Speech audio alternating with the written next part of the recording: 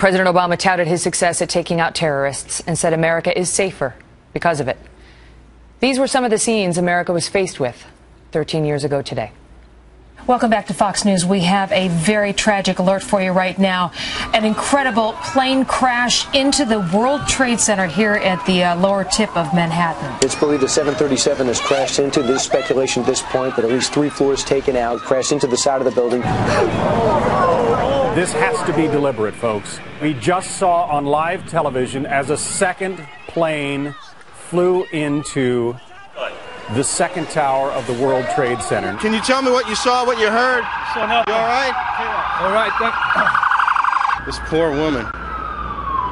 Wow.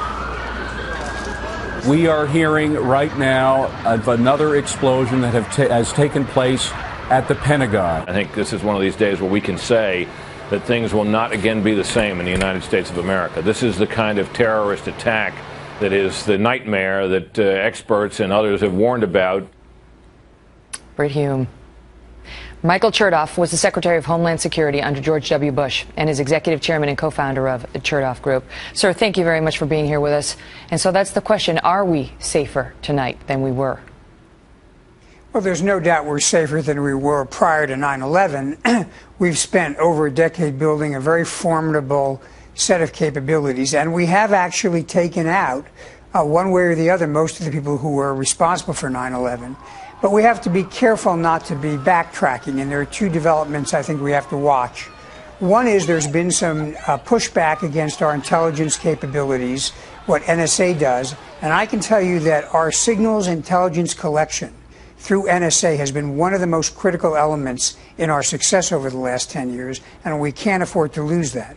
And the second development is the rise of ISIS, which is a, a new battle hardened group of extremists that does pose a threat to the United States. Mm-hmm. For all the you know terrible video we've seen of what they do over in the Middle East, how concerned should we be here in America that they that they may threaten us here at home? I don't think this is necessarily an imminent threat, but I would say, first of all, as they bring Westerners into Iraq and Syria to be trained and further radicalized, uh, some of those Westerners are going to come back, and we have to be careful to monitor them and make sure they don't become terrorist activists here in the United States.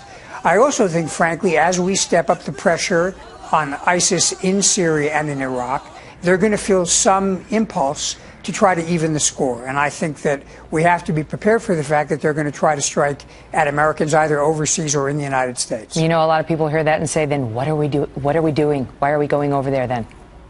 Well, because you see, if we don't eliminate the problem now, it's only going to get worse. And when we went into Afghanistan after 9 11, we found laboratories where Al Qaeda was experimenting to try to come up with weapons of mass destruction. If we let ISIS build a state, build laboratories, sell oil, and raise money, we're going to be facing an enemy that's more formidable than we faced on 9 11.